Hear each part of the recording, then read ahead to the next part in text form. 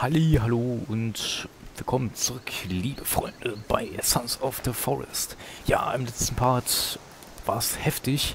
Also wir haben erstmal die Machete gefunden, aus reinem Zufall, unten am Strand.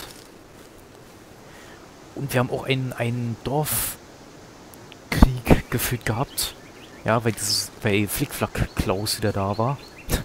Alter, und äh, ich, ich weiß gar nicht, was da los war. Wir haben auch die Maske getragen. Und guck mal da unten, ne? Da ist eigentlich unsere Strandplätze wir sind schon so weit oben. Ey, muss zugeben, die Insel ist echt so dermaßen abwechslungsreich. Ne? Und die Aussicht ist auch geil. Also ganz ehrlich, hier will ich auch später mal ein Lager bauen. Irgendwann mal vielleicht. Das kannst du eigentlich überall bauen, wenn man mal ehrlich ist. Aber irgendwie der See, ne, der hat irgendwie auch für mich was Besonderes. Wenn man nicht zufrieden, ne, dann könnt ihr Eingeborene auch übers Wasser laufen. So, wir sind nämlich immer noch auf dem Weg. Alter, guck mal, da ist auch noch ein Bunker da hinten. Wir haben jetzt schon vier Bunker auf der Karte, die wir noch nicht besucht haben. Einer da ganz weit in der Entfernung, denn hier zwei und dann ist auch noch da einer und vielleicht dahinter auch noch ein weiterer. Laut Karte. Es gibt extrem viele Bunker. Das ist ja mega krass. Und zu dem einen, der bei uns unter dem Haus ist, müssen wir auch nochmal rein, wegen der Tür. Deswegen, ja, machen wir das später. Mal gucken, was da drin ist. Boah, geil. Boah, und ich muss zugeben, mit der Machete, ne? Wir können die Eingeborenen jetzt generell sehr schnell besiegen. Also, oder besser gesagt, die Kannibalen können es auch besser besiegen. Weil die Machete ist einfach sehr, sehr effektiv gegen die. Also vor allem gegen Kannibalen, ne? Muss ich mal so loswerden. Oh. Chicorée? Ja, ja, ja. Da gehe ich jetzt mal nicht hoch, weil da geht es ins eisige Schneegebiet. Ich weiß nicht, was man bei dem Bunker findet. Vielleicht muss man da wieder was ausgraben. Das werden wir sehen. Der Herbst, der kommt auch immer, immer weiter hier rein. Boah, guck mal, wie tief es da runter geht. hm? Ist da jemand? Nö. Ich dachte schon, da wäre jemand.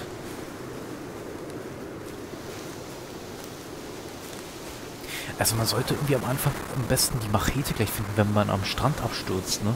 Das ist voll der gute Tipp eigentlich. Also falls ihr am Strand abstürzen solltet, dann äh, solltet ihr in Richtung des Berges mal laufen, also den Strand immer noch entlang. Also bei der Wüste meine ich. Und sagen wir mal genau, wo mein Pfeil hin zeigt. Schaut mal auf der Karte, also genau auf das GPS. Da, wo, wo der Pfeil hin zeigt, da an dem Strand ist die Machete. Da, wo der Pfeil hin zeigt, genau da. Da ihr nicht immer Strand unten gucken. Da findet die Machete bei einem Zelt. Also bei so einem kleinen Lager. Oh. Und ihr könnt sie dann besorgen. Scheiße, kriegen wir Besuch hier? Hilfe. Ich geh mal weiter. Boah, und von da unten geht's ja auch noch weiter, ne? Wenn man so nach unten. Alter, der Wind wieder. Ach du Scheiße. ist schon ganz schön crazy. Okay, okay, okay.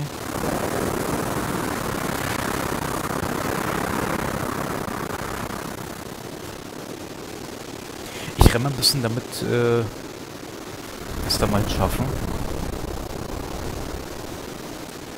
So, laut Karte ist hier auch gar keine Höhle verzeichnet. Okay. Boah, es wird dicht bewachsen hier alles. Aber der Wind, der Wind ist köstlich. Ich mag den gar nicht. Der sich immer noch so, so kaputt an.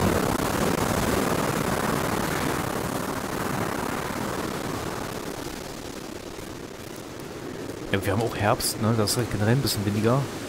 Kann ich nicht kaputt machen. Alter, wo es da hinten hingeht. Heftig.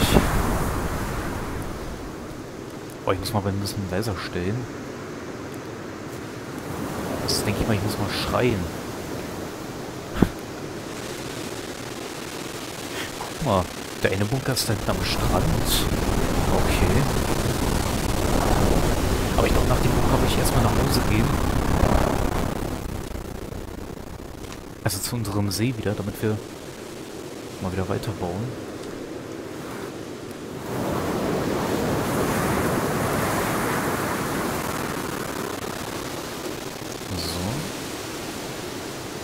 müssten gleich da sein. Die anderen Bunker da, wir haben ja genügend Zeit, wir lassen uns einfach Zeit. Wir haben also so noch die anderen Höhlen, die wir auch noch alle durchforsten müssen. Und es werden bestimmt so, irgendwann später noch weitere Bunker und weitere Höhlen noch hinzugefügt, bestimmt. Das kann ich mir gut vorstellen. Alter. Da unten? Äh. Ich glaube, wenn ich hier runterfalle, bin ich tot. So, wie komme ich denn hier runter? ich weiß es gar nicht. Oh mein Gott. Komme ich hier runter? Nee, ne? Ich bin locker in 80 Metern Höhe bestimmt. Also, wie komme ich denn hier runter? Da bin ich hundertprozentig tot. Ach du Scheiße.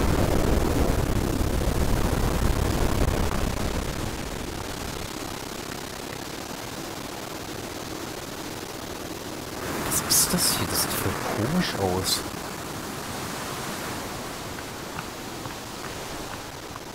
Das sieht mega komisch aus da unten. Von diesen ganzen Sandflächen da.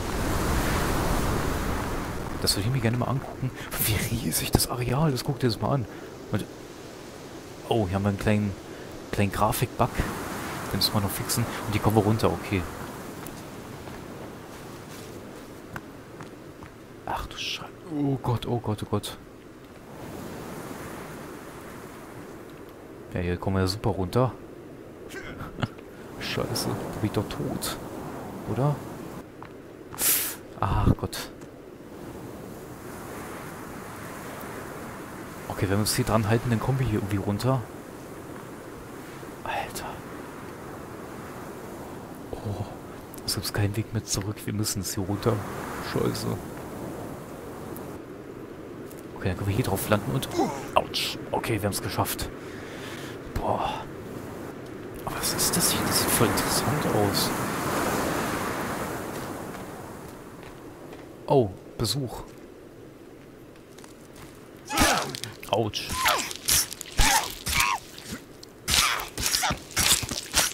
Ach, guck mal, die trägt auch Rüstung und... Alter, sind das viele.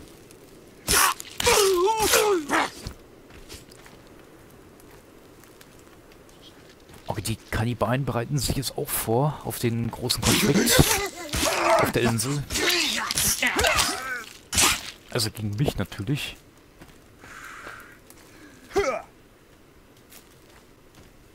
Scheiße, ich habe keine Ausdauer mehr.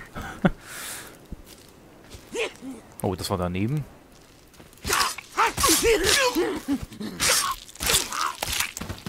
Boah, Hilfe. Okay.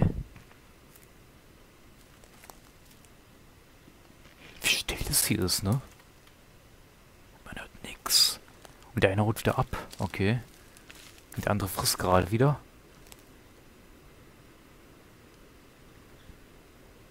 Ich muss zugeben, ich finde die Bewegungen von den Kannibalen immer noch ein bisschen komisch. Aber okay. Aber warum ist hier Sand? Was ist das hier? Oh, ein Eichhörnchen. Boah, das sieht echt beeindruckend aus. Und wir sind extrem weit von unserem Zuhause entfernt, ne? Hier sind auch kaum Bäume, hier ist kaum irgendetwas. Hier sind wieder irgendwelche Wege.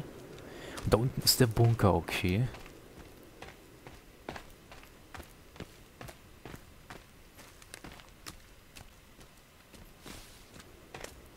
Ach, das ist ein Golfplatz. Oder ein Golfareal. Das sah auch halt auch ein bisschen aus, den Golfplatz von oben, ne? Das kam mir so ein bisschen vor. Das ist eine Golfanlage. Wir haben auch äh, Golfbälle gefunden. Kann man die Golf spielen? das wäre schon ziemlich cool, ne? Alter, das ist geil.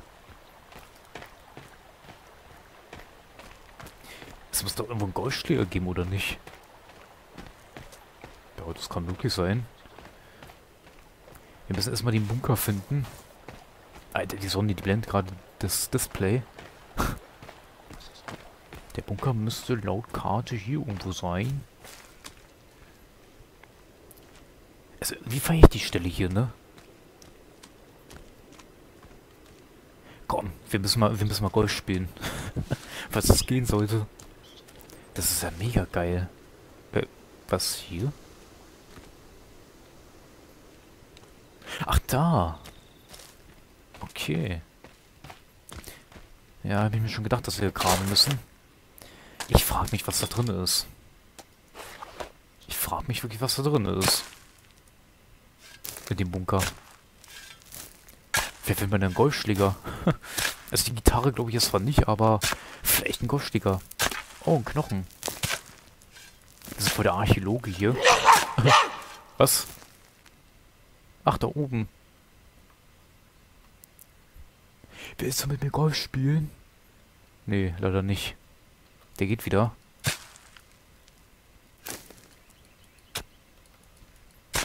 Alter, wie krass. Ich, ich mach gerade das neue Golf, Golfloch hier. Alter.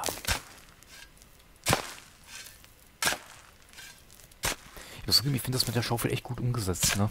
Habe ich das schon mal erwähnt? Ich weiß es gar nicht. Boah, wie langsam er jetzt auch hier hochhebt. Okay, der ist nicht weiter. Dann hier. Okay, krass.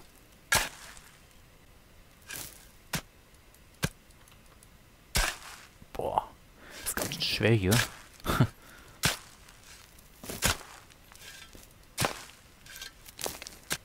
Vielleicht ist es eine unterirdische Golfanlage. das kann ja wirklich sein. Mal gucken. Siehst du, da haben wir was für den Schotten auf jeden Fall gefunden. Weil der Schotte spielt ja sehr, sehr gerne Golf. also würde ich das jetzt einfach mal sagen.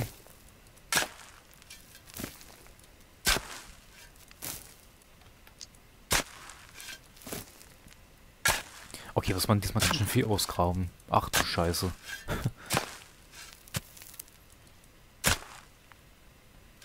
Viel denn noch? Das sind ja gar kein Ende, noch ein Knochen. Aus, mm. Ich grab die ganze Zeit neben der Tür. Ich grab diesen den Beton da aus. Die Tür ist hier. ja, super. Ach, da oben. Ich dachte schon erst, würde neben, einer, neben mir einer laufen. Aber dem ist nicht so.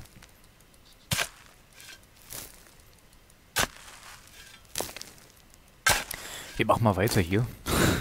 Das wird schon. Alter Schwede. Ja, und weg. Und... Ja, und nochmal weg. Und noch einmal. Jawohl. Und das muss auch weg. Ja. Ja. Oh, das ist ganz schön schwer hier.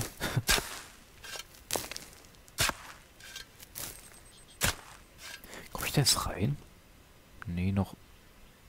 Da komme ich noch gar nicht rein. Ich muss noch das hier wegmachen. Schwer. Oh Gott. Und auch hier. Ja. Jetzt kommen wir rein. Okay. Ich glaube, da ist eine Golfanlage drin. Ich weiß es nicht, aber ich vermute es mal. Maintenance C. Ach, bei dem anderen war, glaube ich, A gewesen, ne? Vermut bei, bei der Feuerwehraxt war da A? Ich glaube, da war A, ne? Das musste... Das, ist offenbar C. Das heißt, müsste dann auch irgendwo noch B geben, ne? Ja, das auf alle Fälle und... Ach du Scheiße, was ist das denn hier?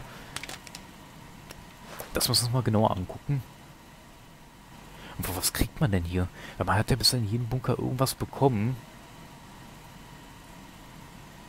Und irgendwie macht mir der Bunker bisher am meisten Angst. Alter, guck mal, das, da hinten ist so dunkel.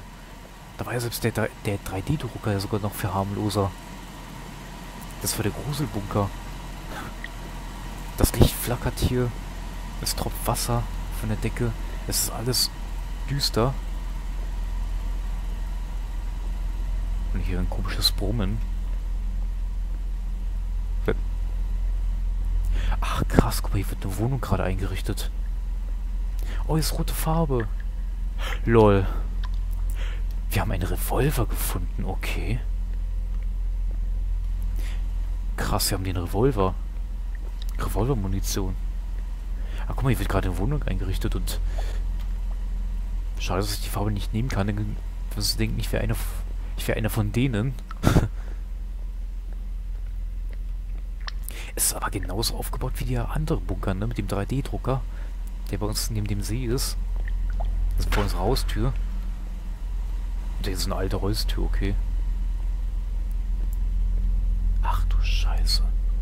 Hier sind wir so Generatoren. Okay. So, gibt es das außer der Revolver gar nichts? Ich glaube nicht. Okay. Hier ist wirklich nichts. Gar nichts. Ist einfach nur so ein Schlafraum da, der noch nicht mal fertig ist. Das heißt, der Bunker ist noch relativ neu. Im Gegensatz zu den anderen. Okay. Das ist ja crazy. Kann ich das mitnehmen? Nee, das sind die Schläuche. Tja, das war's dann wohl. Aber wir haben einen Revolver gefunden. Okay, das ist ja schon mal, das ist ja schon mal was.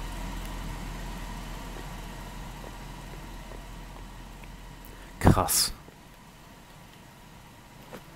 Aber besser ist nichts, oder? Wäre hier nichts drin gewesen, hätte ich den vielleicht ein bisschen, ja, lame gefunden, aber der war ganz gut. So, der Revolver, der müsste... Da ist er. Habe eine weitere Pistole. Ich mache meinen Testschuss. Oh, wie im Wilden Westen. Sehr schön. Müsste aber auch stärker als die normale Pistole sein, weil ich glaube, ein Revolver ist generell stärker. Das heißt, den Bunker können wir es eigentlich komplett ignorieren, weil da ist nämlich nicht, nichts mehr. Da haben wir noch einen, da hinten ist noch einer und dann noch einer ganz weit, ganz weit da hinten. Am anderen Ende der Insel gefühlt. Ach, guck mal. Komm, können wir gleich mal testen hier, wie der Revolver ist. Komm mal runter da. Oh, krass. Der ist direkt gestorben. Heftig. Oh, noch einer. Komm mal her, du. Du kleine Ratte.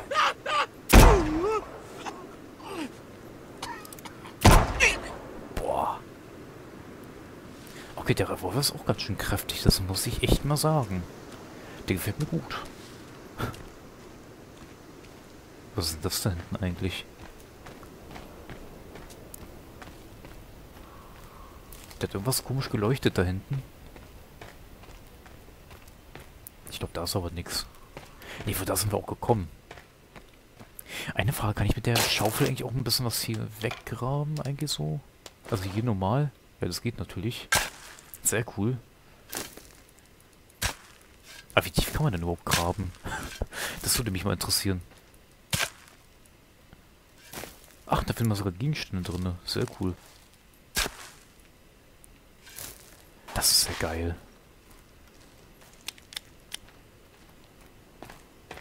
Okay, ich gehe mal wieder hier lang. Wir müssten eigentlich sogar nur den Weg da folgen erstmal für eine Weile. Da machen wir eine kleine Nachtwanderung mal wieder. Habe es auch schon länger nicht mehr gemacht. Dann nehme ich mal schnell die Machete. Und dann weiter durch die Finsternis der Nacht. Okay, davon müssen wir links abbiegen.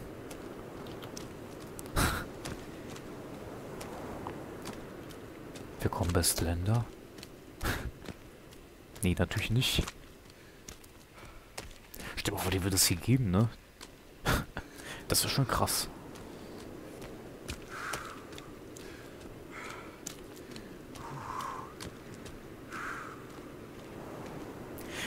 Die haben halt auch so wirklich einen Golfplatz hier draußen.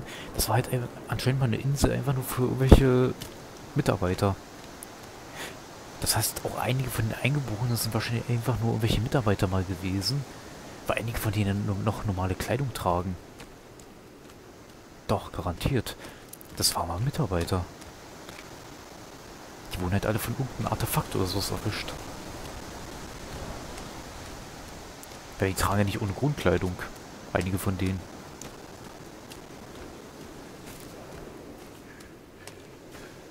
Bei der anderen Insel waren das, ähm, waren das schon Eingeborene, aber hier sind das etwas andere Eingeborene. Würde ich jetzt mal so behaupten.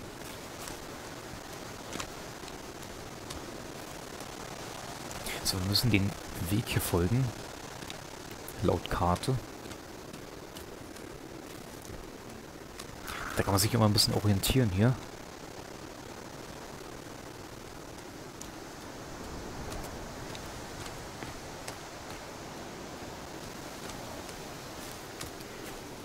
Aber diese Atmosphäre, ne?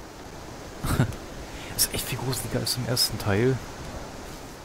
Beim ersten Teil hat man sich nachts irgendwie schon ein bisschen dran gewöhnt, nach, nach den ganzen Jahren.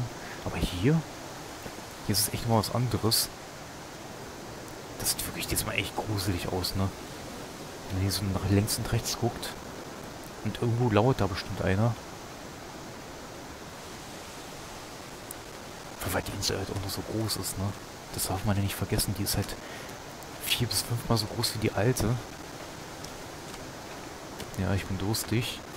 Ich gehe erstmal ein bisschen weiter. Vielleicht kommen wir an einen, an einen Teich vorbei. Oder an einem See.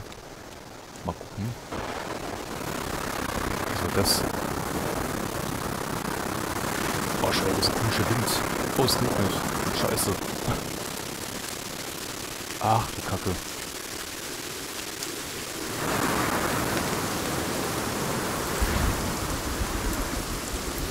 Ach, du Scheiße.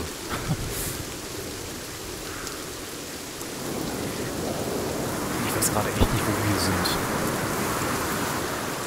Ich gehe jetzt einfach mal weiter hier. Was sagt die Karte? Ach du Scheiße, da gehen wir lieber zur Strandbasis erstmal. Das heißt, wir müssten hier vorne lang. Oh Gott. Ach, da vorne. Boah, ist das wie ein Trailer.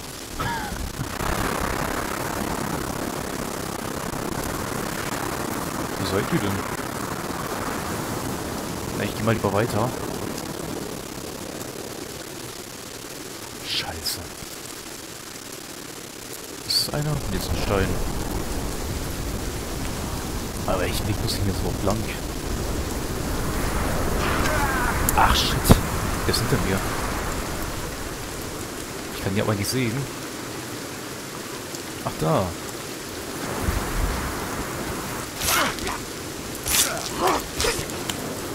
Ach du Scheiße, ich habe keine Energie mehr. Ich sollte mal lieber weiter. Ich gehe weiter.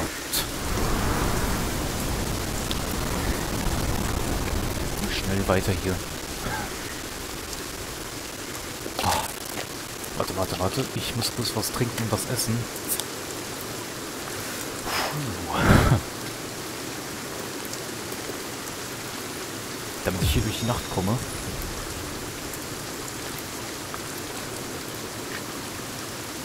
Ach du Scheiße. Okay, jetzt können wir weitermachen.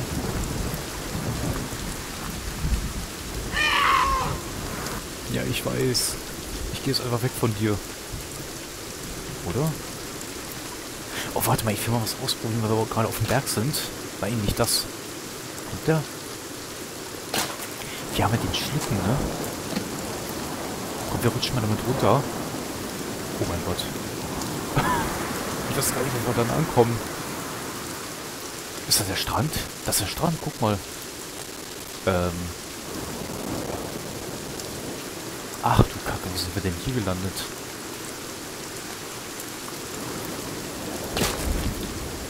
Oh nein, wir haben einen eingebuchteten Strand gefunden.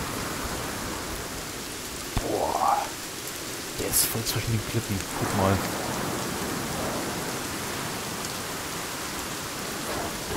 Scheiße. Es wird auf zu regnen. Sollen wir denn erstmal hier bleiben? Ich denke mal, das können wir. Also das müssen wir nach Hause schwimmen, aber ich glaube, das ist keine so gute Idee. Ich weiß nicht, ob hier Haie sind. Ne, dann speichern wir erstmal hier. Wir sind auch schon wieder in der Zeit. Wir sind mitten im Nirgendwo und ja, wir machen das mal schnell. Ja, wir haben einen Revolver gefunden, wir waren beim Golfplatz und vieles, vieles mehr. Es ist, das ist das Spiel, ne? So viele Überraschungen so viel Neues. Und im nächsten Part geht es hoffentlich weiter und wird auch nach Hause. Mal gucken. Bis dann erstmal, ne? Tschüss.